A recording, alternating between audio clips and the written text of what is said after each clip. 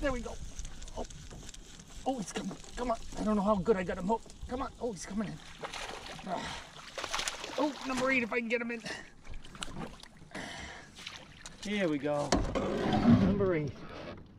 Let some line out.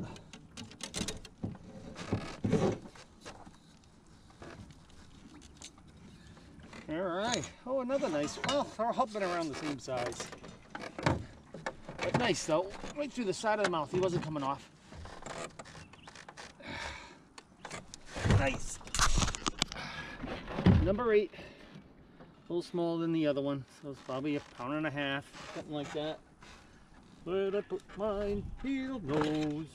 Number eight. Like I said, we're at Killingly Pond in Connecticut, but it borders Rhode Island, so you can use a Rhode Island license in here also. But nice one.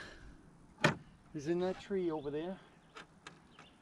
He hit once and I missed it, and then I threw that fluke back in there and he got it. Thank you very much, number eight.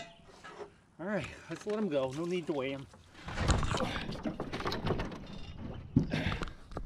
Nice little pounders anyway. Nice little pounders. All right, let's let him go. Thank you, guy. Much, much appreciated. There we go. Ready?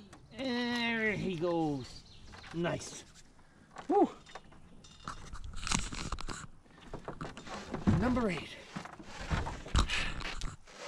Yeah, a few more casts down the rest of this cove and uh, we'll head back.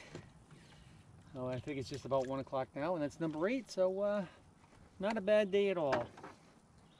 Not a bad day at all. So we'll try a few more casts and then call it a day. Ciao for now.